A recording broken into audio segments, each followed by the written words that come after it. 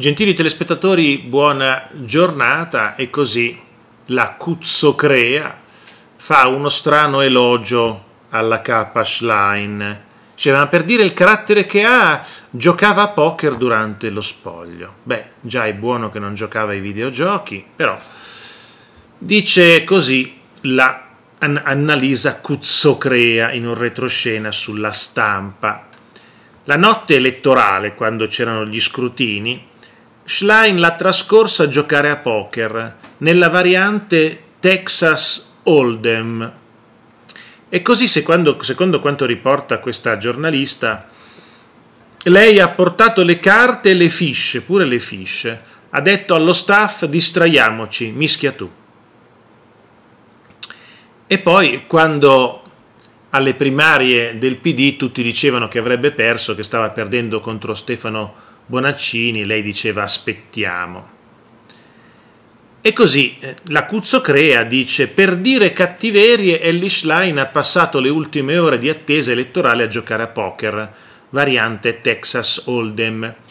E chissà cosa ci svela il fatto che facesse una partitina a poker durante lo spoglio. Ecco. Quindi, come dire che è una con carattere, lei porta le fiche e le carte, giochiamo a carte mentre aspettiamo i dati ufficiali. Beh, è una che gioca, lei stessa ha detto in più interviste che lei è una gamer, una giocatrice con, con i videogiochi, quindi lei per rilassarsi gioca ai videogiochi. Ecco, io l'ultima volta che ho sentito qualcuno che giocava ai videogiochi erano i miei amici della scuola che a casa giocavano al calcio, a queste cose qua. A me non è mai interessato, insomma, l'ho vista come questo giocare ai videogiochi dopo una certa età come un qualcosa di un po' infantile, no? Però, insomma, se lei è una gamer, a questo punto una gamer ti porta anche le carte e gioca a poker se non si è portata dietro la console dei videogiochi. E così dice la Cuzzocrea. No, la Schlein non ha mai inseguito Giorgia Meloni sul suo terreno, forse perché proprio gioca a poker online. Eh? In che senso? Come gioca a poker online? Quando la Premier le chiedeva di qualcosa sugli attacchi del socialista Schmidt o di De Luca, la segretaria Dem si è limitata a rispondere non sono un jukebox non rispondo a comando a quello che dice la Meloni, non è che la Meloni mi può dire quello io, di cui io devo parlare. E quando l'ha provocata sui migranti da portare in Albania ha continuato a battere su liste d'attesa e salario minimo. Quando le ha detto non hai abbastanza coraggio, ha fatto finta di non sentire.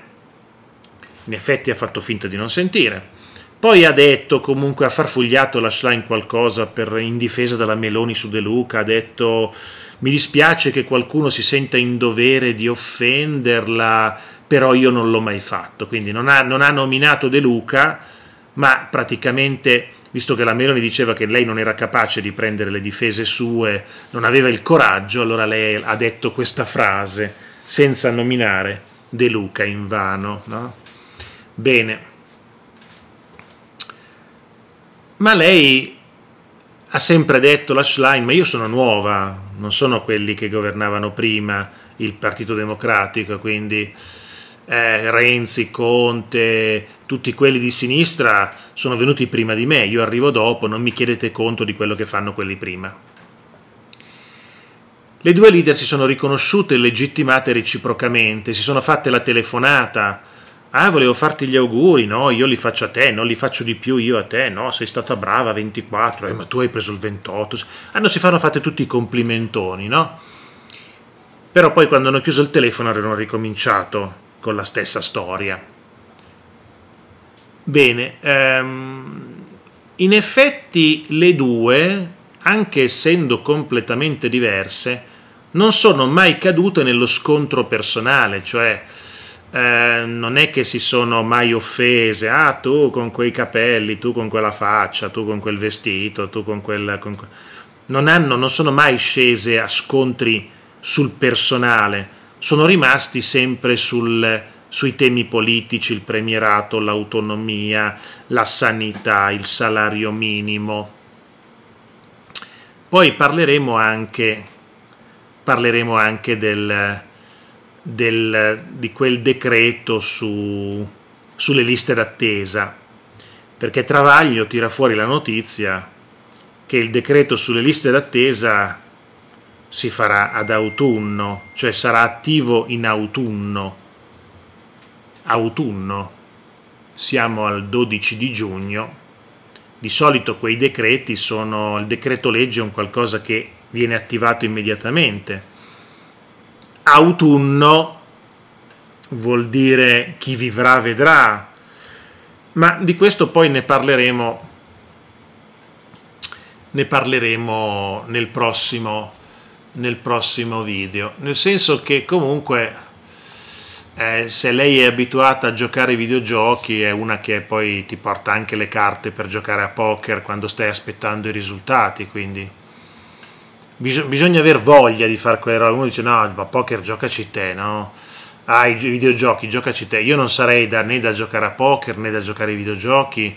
Ricordo con gli amici che giocavamo a poker tanto tempo fa, con i videogiochi vedevo giocare gli amici, a me non interessava più di tanto, però sono quelle cose che magari ho fatto anch'io fino a una certa età, adesso non, non mi metto né a giocare né a poker né a scacchi, proprio non ho voglia, non mi interessa, preferisco guardarmi la, la televisione che mettermi lì a giocare ai videogiochi o a poker, però c'è chi è diversamente e, e, e lo fa tutti i giorni, va bene, ognuno.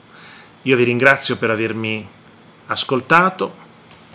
Nel prossimo video parleremo di Fratoianni che rosica per il successo di Vannacci e dice ci dovremmo preoccupare.